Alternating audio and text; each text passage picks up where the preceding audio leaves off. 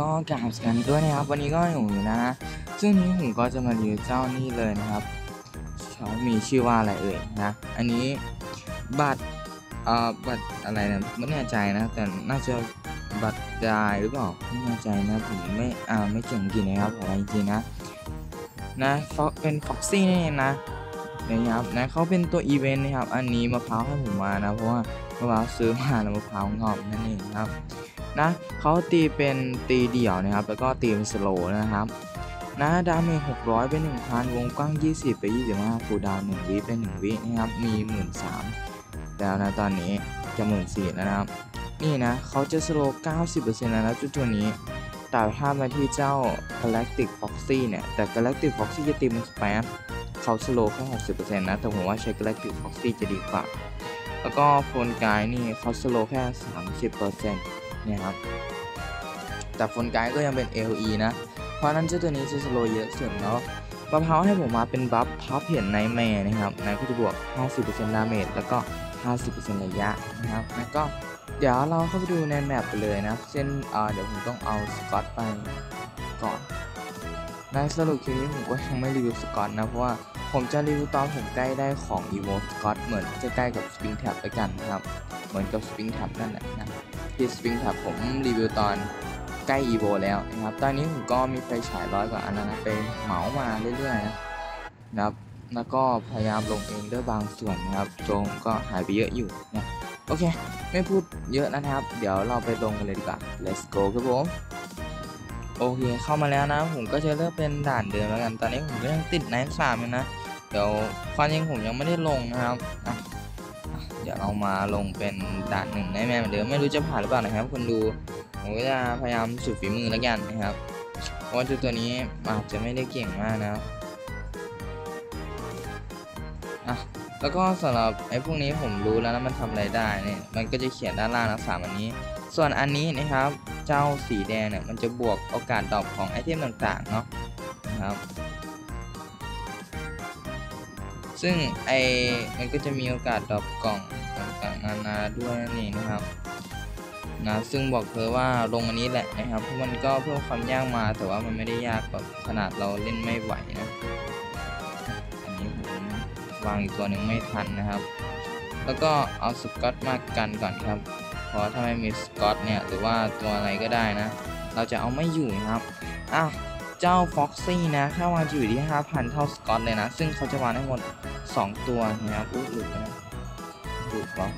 เพราะว่าผมต้องอัพสกอตให้ตันก่อนว่าผมดูไม่งั้น เอาไม่อยู่นะครับ เดี๋ยวผมจะปิด auto skip ด้วยนะครับ เราจะได้ไหวนะดูอะเข้ามาของเขาจุดที่5,000นี่วางไปเลยนะครับ อันนี้คือ buff Puppet Nightmare เนาะนะครับ damage 900 นะครับ วงกว้าง 30 cooldown 1วินะ ใช้ค่าทั้งหมด 600นะครับนะ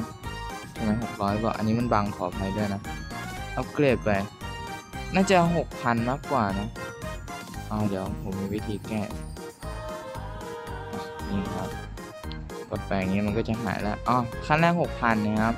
ใช้ค่าอัพทั้งหมดพันเออไม่ใช่เออ damage พันสองนะครับวงกว้าง31.5 cooldown 1วิจนยันยันขั้นสุดท้ายเหมือนเจ้าพับเพชรตัวตะกี้นี้เลยเนาะ นะครับ ซึ่งเออล่าสุดผมเพิ่งไปอ่านเม้นมามีน้องบอกว่าน้องเขายังไม่ได้ตัวพับเพชรนะ ผมไม่แน่ใจนะว่าทำไมเหมือนกันนะครับอะอัพไป 7,000 นะครับ damage 1,350 วงกว้าง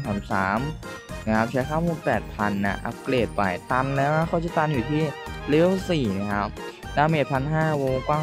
37.5 cooldown 1วิเนาะท่านผู้ชม เขาจะวางได้ทั้งหมด 2 ตัว ระวังไปอีกตัวหนึ่งครับ เช่นเดี๋ยวผมไปนี่ปุ๊บอัปเกรดมานะครับ แล้วก็เดี๋ยวเราจะวางเจ้าตัวนี้ แล้วก็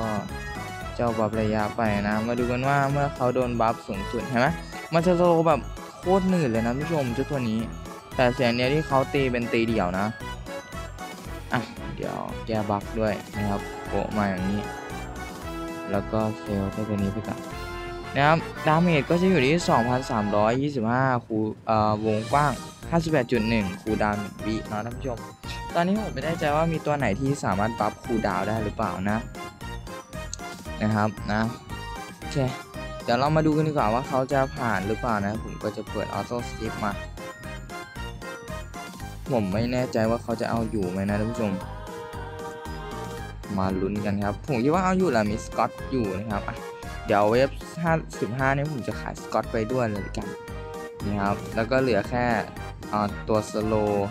เอ้ยไม่ต้องเหลือตัวสโลดิเพราะเขาสโล่แล้วไอคลิปที่แล้วที่ผมต้องเหลือตัวสโลไว้เนี่ยเพราะว่าเจ้าพับเพจมันไม่มีสโลนั่นเองนะครับ แต่รอบนี้เราจะให้เขาเพียวๆเลยนะครับโอ้มาไม่รู้จะไหวไหมนะเดี๋ยวแต่ว่าผมจะเตรียมวางสกอตนะครับ ถ้ามันมาตรงนี้แล้วผมจะวางเลยนะท่านผู้ชม ก็คือเขาเอาไม่อยู่แล้วนะ มาเนี่ยแต่เขาจะสโลเยอะนะครับนะข้อดีของเขาตรงนี้เลยนะสำหรับเจ้าบัตรนะครับ ถ้าได้บัฟชาโดมาก็จะยิ่งดีก็อีกนะแต่ผมว่าบัฟชาโดไม่ได้ดีกับเขาขนาดนั้น ผมคิดว่าถ้าจะเอาแบบบัฟชาโดจริงไปเอาบัฟส่วนจุดส่วนหนึ่งดีกว่าแต่มันหายากไปนะก็ใช้พอเพนแมนนี่แหละนะครับ แต่ตัวเขาไม่ได้ไม่ได้ดีมากนะทุกคนเอาแค่พอเพนแมนก็พอแล้วนะเพราะว่าเราคงไม่ได้ใช้ระยะยาวนะครับ ส่วนใหญ่เขามาใช้พวกตัวดีๆกว่านี้ดีกว่านะครับแต่ผมก็แค่แนะนำในบางส่วนเนาะอะผมว่าเขาไหวแหละนะครับ ดูดิบอสเพิ่งมาถึงตอนนี้เลือดเกือบถึงครึ่งแล้วนะแต่ก็ต้องดูไปก่อนนะครับว่าเขาจะเอาอยู่ไหมข้อดีของเขาอย่างเดียวเลยคือสโลหนักมากตรงนี้แหละนะครับที่เป็นประโยชน์ แต่ผมรู้สึกเอาไม่ไหวมาก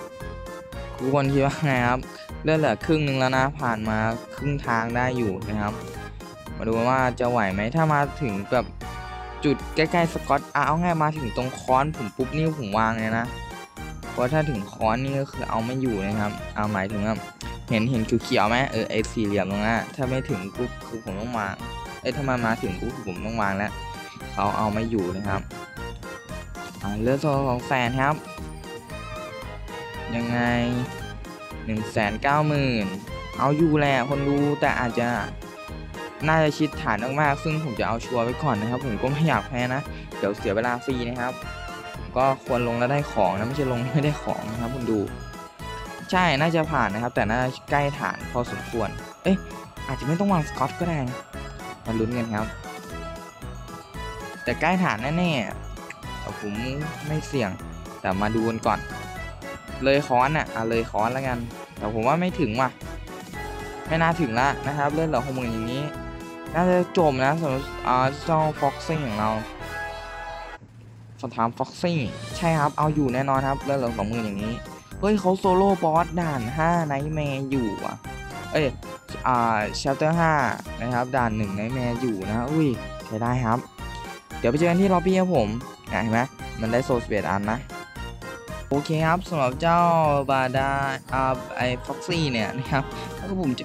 ไม่ได้อ่านชื่อถูกจริงขอไปจริงนะครับ ก็มีมาด้านนี้นะสำหรับเจ้าตัวนี้นะ หรือเจ้าผ้าปิดตาเนี่ยนะก็คือเขาเป็นคนตาบอดเนาะสำหรับเจ้าตัวนี้นะครับนะก็ใครอยากได้ก็สุ่มเอาละกันนะครับนะจะอยู่ในตรงนู้นเนาะแล้วก็เดี๋ยวตรงนี้เราค่อยว่ากันนะครับ ผมคงรีวิวทุกตัวนะครับ ไม่เหมือนรอบที่แล้วนะครับเอ้ยแต่ผมอาจจะไม่รีวิวทุกตัวหรอมั้งผมอาจจะรีวิวแค่ secret แล้วก็ mythic นะครับ เพราะว่า mythic ผมค่อนข้างสนใจเขาอยู่ส่วน rare กับ epic นี่ผมไม่ได้สนใจเขาขนาดนั้นนะครับ